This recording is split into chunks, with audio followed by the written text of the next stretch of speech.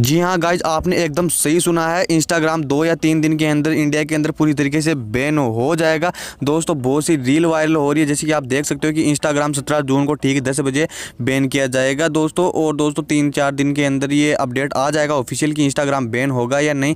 और दोस्तों, जैसे कि देख सकते हो, तीन राज चीन राज्यों के सब लोगों क्षेत्र में महिलाओं और एवं लड़के लड़कियों को इंस्टाग्राम को अत्यधिक उपयोग करने की वजह से इंस्टाग्राम को भारत सरकार द्वारा बैन कर दिया जाएगा। और जैसे कि देख सकते हो, दो सौ वर्ष से कम आयु के बच्चे पढ़ाई पर डिस्टर्ब हो रही है। रील पर बहुत ही ज़्यादा फोकस किया जा रहा है। इसकी वजह से इंस्टाग्राम को इंडिया के अंदर अब बैन कर दिया जाएगा। दोस्तों दो तीन दिन के अंदर ऑफिशियल अपडेट आ जाएगा कि इंस्टाग्राम इंडिया के अंदर बैन होगा या नहीं। दोस्तों, अभी तक कोई ऑफिशियल अपडेट तो नहीं आया है। लेकिन दोस्तों, ये न्यूज़ वगैरह, ये रील वगैरह तो यही बता रही है कि इंस्टाग्राम दो तीन दिन के अंदर इंडिया के अंदर बैन हो जाएगा।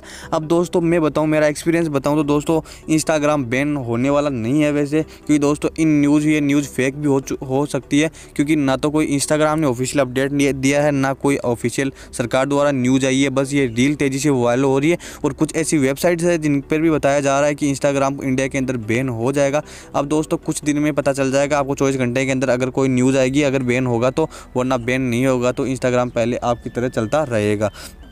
तो दोस्तों, मैं आपको एकदम सही न्यूज़ दे दूँगा। अगर बैन हुआ होगा या नहीं होगा, ये नेक्स्ट वीडियो में मैं आपको बता दूँगा। अगर कोई सरकार की तरफ़ से कोई अपडेट आता है तो।